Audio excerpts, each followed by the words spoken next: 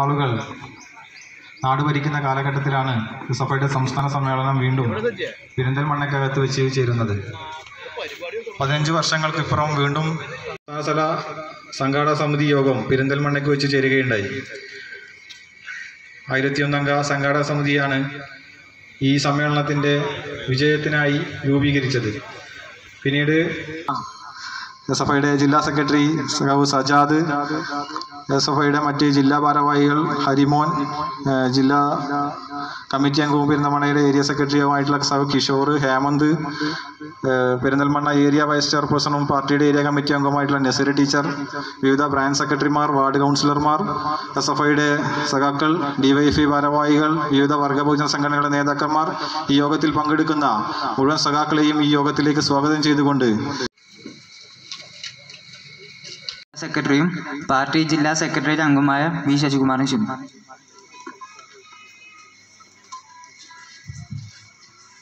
പ്രിയപ്പെട്ട ഈ യോഗത്തിന്റെ അധ്യക്ഷൻ എസ് എഫ് ഐയുടെ ഏരിയ പ്രസിഡന്റ് കൂടിയായ സിനാൻ എസ് എഫ് ഐയുടെ ജില്ലാ സെക്രട്ടറി സജ്ജാദ് വൈസ് ചെയർപേഴ്സൺ മറ്റ് കൗൺസിലർമാർ പാർട്ടിയുടെ ലോക്കൽ സെക്രട്ടറി യൂസഫ് പ്രമുഖ വ്യക്തികൾ ഇവിടെ വേദിയിലിരിക്കുന്നുണ്ട്. അവർ രണ്ടുപേരെയും ഞാനിവിടെ നിങ്ങൾക്ക് പരിചയപ്പെടുത്തുകയാണ്. ഒരു ഒരു പരസ്യത്തിൽ സംസാരിക്കുന്നതിന് വേണ്ടി എസ് എഫ് ഐ മലപ്പുറം ജില്ലാ സെക്രട്ടറി സഖാവ് സജാദിനെ ക്ഷണിക്കും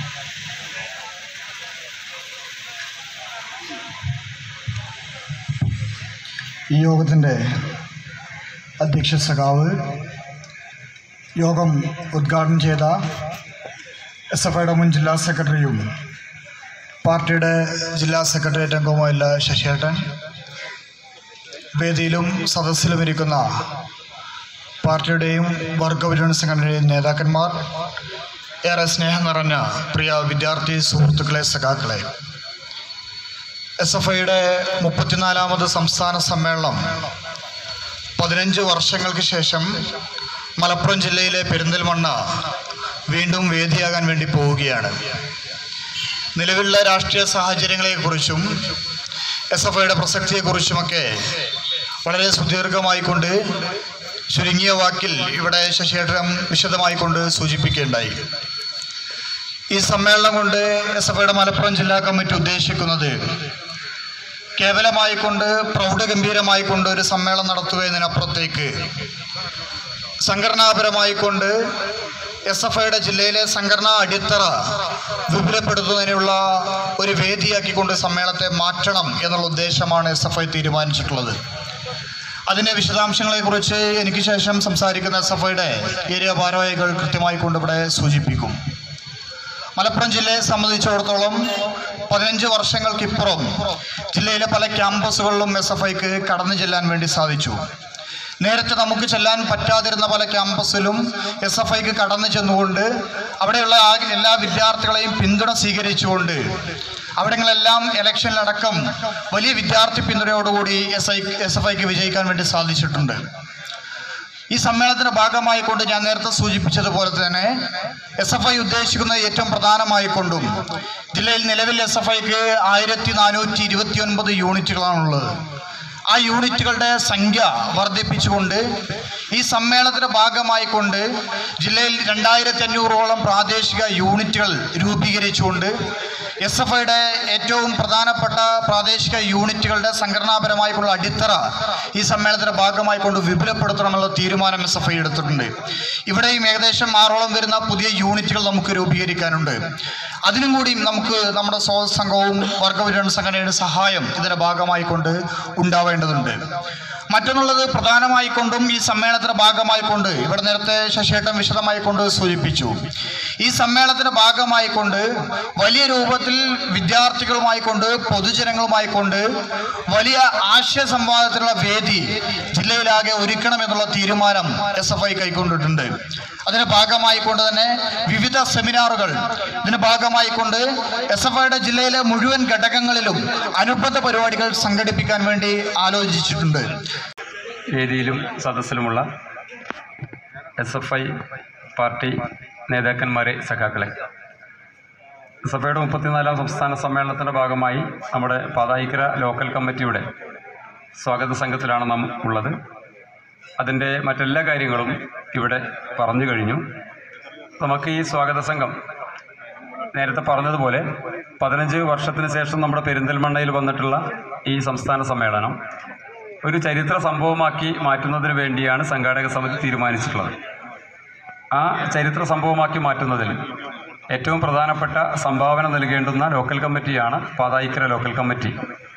ആ അർത്ഥത്തിൽ വൈവിധ്യങ്ങളായിട്ടുള്ള അനുബന്ധ പരിപാടികളും കൊണ്ട് തന്നെ വളരെ സമ്പന്നമാക്കി ഈ സമ്മേളനത്തെ നമുക്ക് മാറ്റേണ്ടതുണ്ട്.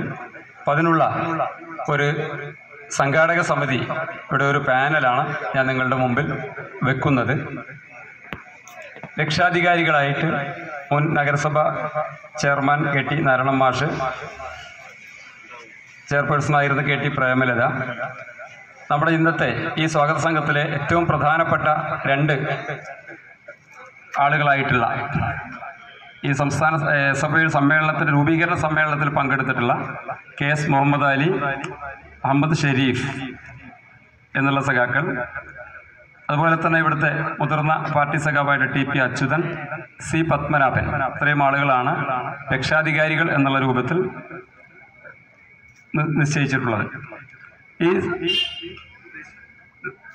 ഈ സംഘാടക സമിതിയുടെ ചെയർമാൻ നമ്മുടെ മുനിസിപ്പൽ ചെയർമാൻ കൂടിയായിട്ടുള്ള P ഷാജിയാണ്. Vice chairperson A Naseera municipal vice chairperson standing committee ചെയർമാൻമാരായിട്ടുള്ള Ambili Manoj K Unnikrishnan Mahila അസോസിയേഷന്റെ ഏരിയ പ്രസിഡന്റായിട്ടുള്ള സഖാവ് സി ടി ഗീത. ഇത്രയും ആളുകളാണ് വൈസ് ചെയർമാൻമാരായിട്ട് നിർദ്ദേശിക്കാനുള്ളത്. ജനറൽ കൺവീനർ ലോക്കൽ സെക്രട്ടറി ആയിട്ടുള്ള V Yusuf. Convener S F ഐയുടെ മേഖലാ secretary Muhammad Sinan K P. Joint കൺവീനർമാരായി DYFI block president Muhammad Shahid M Arjun M Faisal K രണ്ട് ഡിവൈഎഫ്ഐയുടെ രണ്ട് മേഖലാ സെക്രട്ടറിമാരാണ്. C P Sunilkumar P K എസിന്റെ ഏരിയ സെക്രട്ടറിയും അതുപോലെ തന്നെ മുനിസിപ്പൽ വർക്കേഴ്സ് യൂണിയന്റെ ജില്ലാ സെക്രട്ടറിയുമായിട്ടുള്ള സി പി സുനിൽകുമാർ. ആണ് ജോയിന്റ് കൺവീനർമാരായിട്ട് നിർദ്ദേശിച്ചിട്ടുള്ളത്. ഈ സ്വാഗത സംഘത്തിന്റെ ട്രഷററായിട്ട് നമ്മുടെ മുനിസിപ്പൽ കൗൺസിലറും മുതിർന്ന ലോക്കൽ കമ്മിറ്റി അംഗവുമായിട്ടുള്ള സഖാവ് കെ സുബ്രഹ്മണ്യൻ. ബാക്കി ഇതിന്റെ executive committee അംഗങ്ങളായിട്ട് K S K T U മേഖലാ സെക്രട്ടറി ആയിട്ടുള്ള എം രാധാകൃഷ്ണൻ മുനിസിപ്പൽ കൗൺസിലർമാരായ പി ആരിഫ് ഷാഹുൽ ഹമീദ് ബാക്കി ബാക്കി ഉള്ള നേരത്തെ എക്സിക്യൂട്ടീവിൽ പറഞ്ഞിട്ടുള്ള ആളുകൾ ഭാരവാഹികളല്ലാത്ത മുഴുവൻ കൗൺസിലർമാർ അതുപോലെ തന്നെ മുരളീധരൻ ലോക്കൽ കമ്മിറ്റി അംഗം കെ പ്രേമദാസൻ മഹിളാ അസോസിയേഷന്റെ സെക്രട്ടറി ആയിട്ടുള്ള സീനത്ത് എസ് എഫ് ഐ മേഖലാ പ്രസിഡന്റ് ആയിട്ടുള്ള അൻഷിഫ് പാർട്ടി ലോക്കൽ കമ്മിറ്റി അംഗങ്ങൾ നേരത്തെ പറയാത്ത മുനിസിപ്പൽ കൗൺസിലർമാർ പാർട്ടി ബ്രാഞ്ച് സെക്രട്ടറിമാർ S F I local committee അംഗങ്ങൾ ഡിവൈഎഫ്ഐ രണ്ട് മേഖലയുടെയും ഭാരവാഹികൾ. ഇത്രയും ആളുകളാണ് നമ്മുടെ ഈ സംഘാടക സമിതി എന്നുള്ള നിലയിൽ ഉൾപ്പെടുത്തി നിർദ്ദേശം എന്നുള്ള നിലയിൽ നിങ്ങളുടെ മുമ്പിൽ വെക്കാനുള്ളത്.